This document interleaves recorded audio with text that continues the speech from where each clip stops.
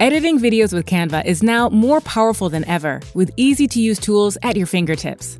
In this video, we'll learn how to edit and trim your videos, use filters and effects, and add transitions between your videos. So let's get started.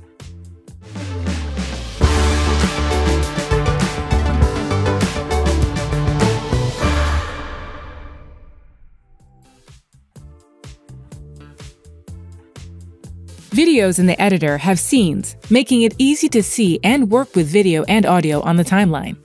Increase or decrease a scene's length by dragging from either end, like this. You can also split scenes by using right-click. This breaks content into new scenes for flexible editing. To add video transitions, click the transition icon found between each video clip or scene. The transition sidebar will appear, where you can choose a video transition. Notice how you can hover over any transition to see a preview.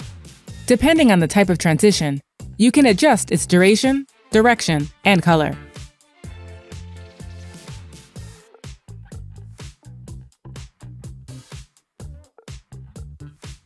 Like all designs in Canva, thousands of unique ingredients are just a click away.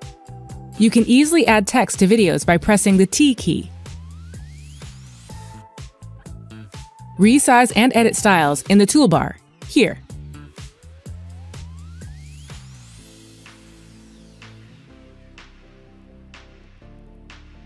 Let's add a shape behind the text to really make it pop, like this.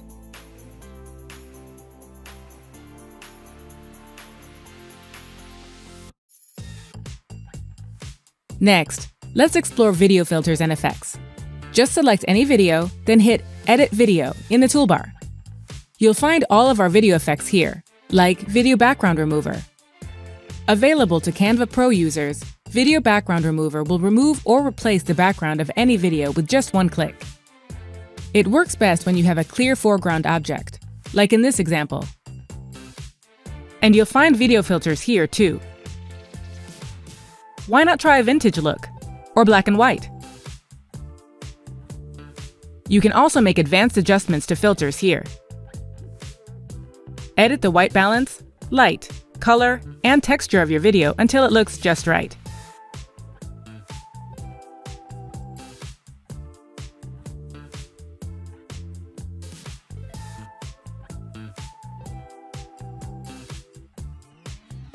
Now we have our video content ready, let's start to play with our story.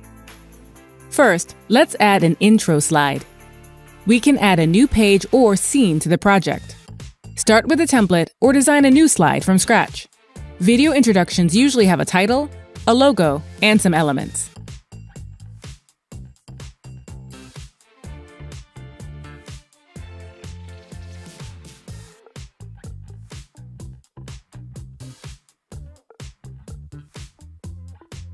Next, let's add an ending slide.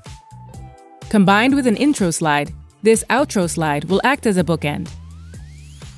Let's duplicate the intro slide and move it to the end of our video, and add the final information you want your audience to know.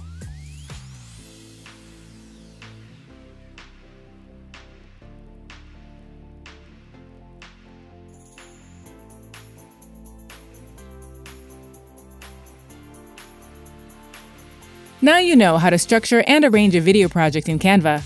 You'll be making screen-worthy content in no time.